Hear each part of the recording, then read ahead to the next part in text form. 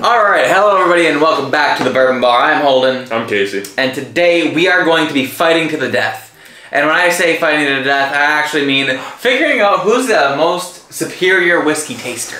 You see, there's been a little debate over our live streams, and we just kind of want to settle this. So we're gonna make a new, uh, kind of a new thread for the Bourbon Bar channel. Absolutely. So what we're gonna do is uh, we're gonna have a whiskey contest or like um, a whiskey battle per se, uh, and I'm gonna pour him a blind. He's gonna pour me a blind and, or a blind glass, and then we're both gonna have to write down our answers and guess, uh, and then we'll do it. You know, a couple times. We'll have like seasons, kind of like um, the Bourbon Junkies do, and we'll kind of. Just because it's fun, we're gonna figure out who's We're gonna, superior taster. we're gonna keep score every time, and then at the end we'll have punishments at the end of each season. So I think it'll be fun for you guys to watch. It's gonna be fun for us to kind of battle it out, duke it out, see which one's better. But hey, it's all in good fun. Absolutely. So that being said, I'm gonna step out of the room. Casey's gonna pour me a blind, and then we'll do it around the other way.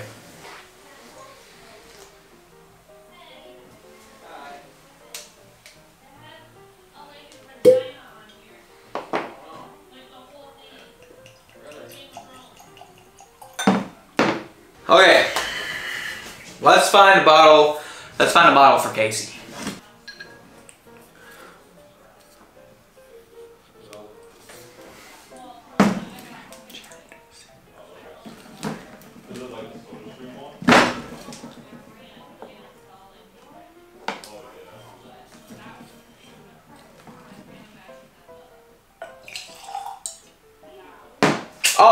So we're back. I poured Casey's. Casey poured mine. Figured it out here. Now we got spicy water going in the glass here Oh, for Casey. good. I'm gonna drink mine straight from the bottle. Yes, much good. Thank you. Much good, much good. So, um, what we got here is some whiskey, and the the things that we have to guess on these whiskeys are as followed. We have to guess the proof. We have to guess the price. We have to guess the finish, Finish. if it is finished or not, and then we're also going to be guessing the type. So bourbon, Scotch, rye, whatever, etc. Um, what we're not going to be doing is Tennessee whiskey because, quite frankly, Tennessee whiskey is bourbon. It's got the same rules, so it's bourbon. Um, technically. So if we say bourbon and it's Tennessee whiskey, close enough. But anything else like light whiskey or wheat wheat whiskey, that's all its own category. So that's that. Gotta call it Uh. So those are all worth one point each. If we and then the bottle guess is worth a point. And if we guess a bottle and it's, it's the correct type but wrong batch, like Elijah Craig Barrel Proof is a type, and then batch would be like A122. If we say Elijah Craig Barrel Proof, that's a half point. If we get the batch right, then that's the other half point. Mhm. So, Correct. that being said, let's go ahead and dive into these. I'm pumped.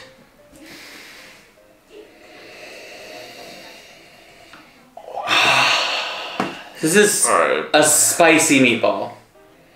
I gotta give that bearings here. I don't even know what the heck I'm smelling Just right give me a piece of paper. I gotta write down my answers. Let's just bring the paper over here. We can write them down at the um, same time.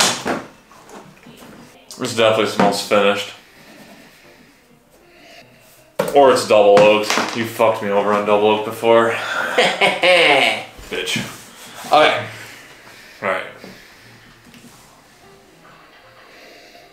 Mine does smell very high proof. A large amount of an oak presence in here. Um, oh man, I guess getting that proof is tough. It's got some like maple, like maple syrupy like oakness in it. Could be a double oak product. Not gonna rule that out. That's kind of what I'm thinking. Mine's either double oaked or it's finished in something. I think mine's a little bit higher proof. Like possibly a little over 110 or right around 110 proof. I don't know. I want to taste it. Woo! That that feels hotter than the last thing we just drank, and the last thing that we drank was tasted hotter than it was. So this could be playing into the 110s, um, 115 area in proof. Hmm. Um, man, you know what actually would fit that bill would be like a peerless double oak, but I don't know if I'm quite leaning there yet. It doesn't have as much sweetness. It, it feels like there's a little bit of like a, a savory oak. Um, and some like maybe some leathery notes in this. Ooh, this is good. Mmm. I want to say this is right around.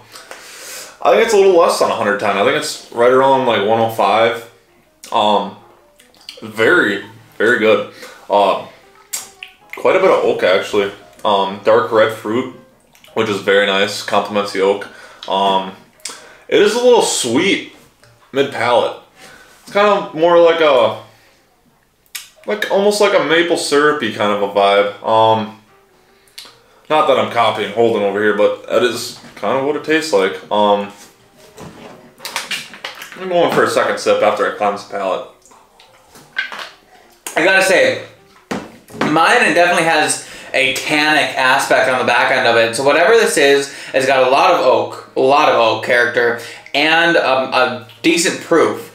So it could be one of those um, higher proof Elijah Craig bar- or um, barrel proof batches. It could be in the. Um, it's not good enough, I don't think, to be Parker's Heritage double oaked bourbon, but it's got that same kind of tannic aspect to it. So I'm looking for something probably high age, uh, high proof, and very oaky.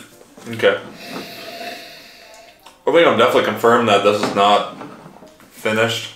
Or wouldn't you consider double Double oaked is a double oak finish. finished? Yep. Okay.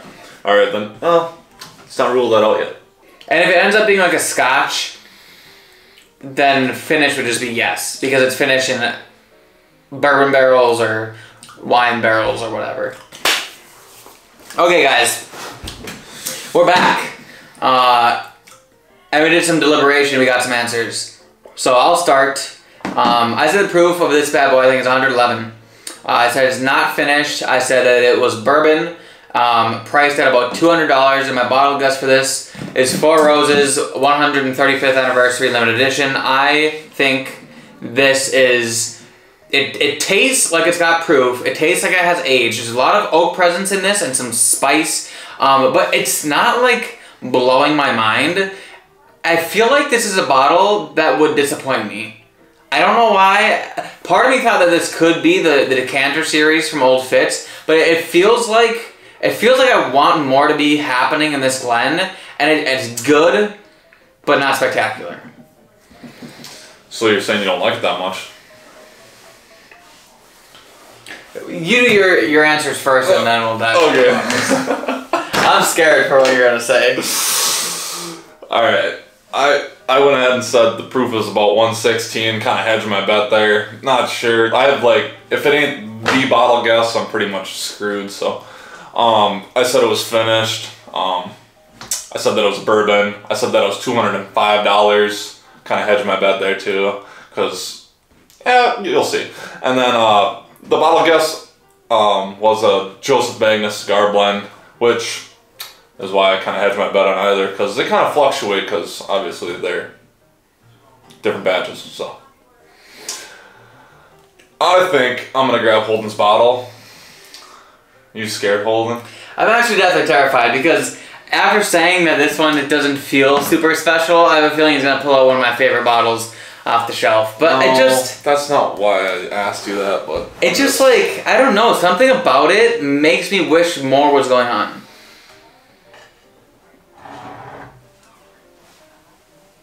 Oh, I looked at that. I I was gonna get. I honest to honest to Christ was gonna guess this bottle. yeah, he I looked at it for a long time too. I'm just like, no. I didn't think that it would be like it doesn't necessarily have a beam profile.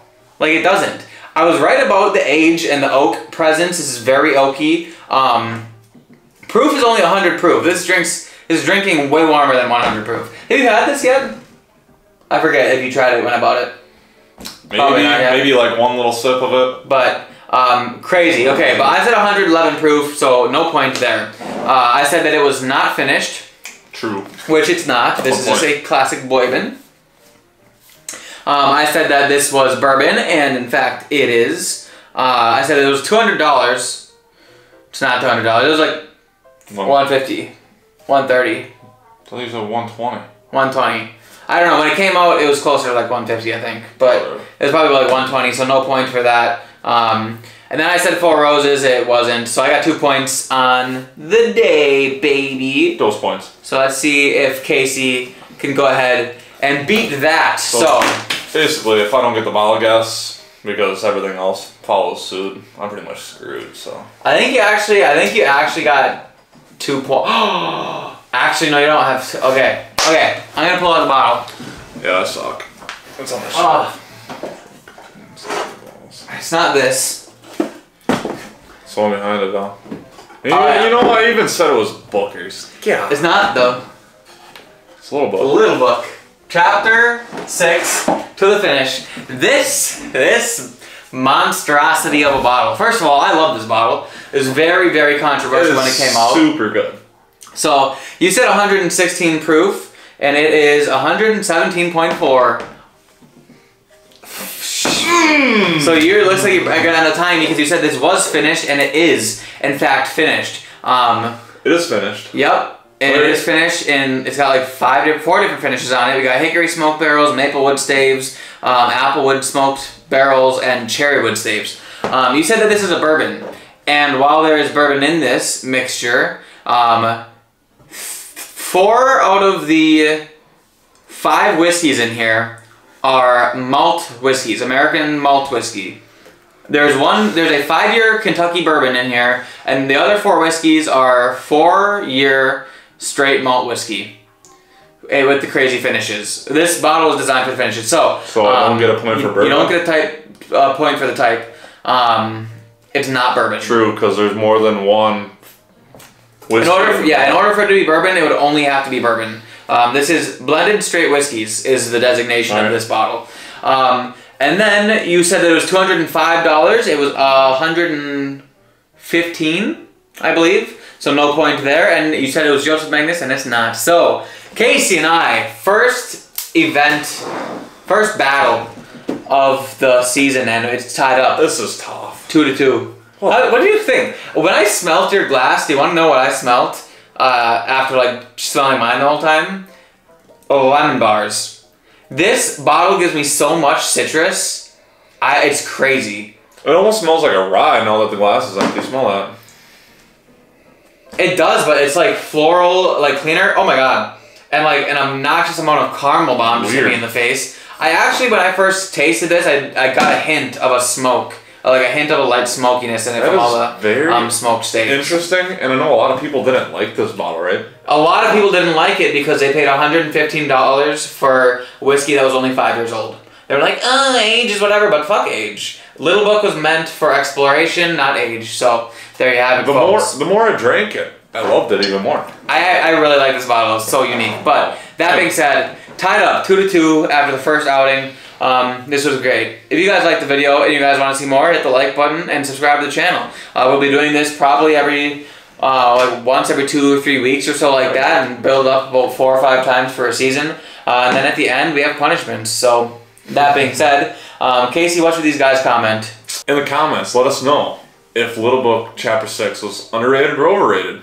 We'd like to hear your comments. But for now, we'll see you all in the next class. Cheers.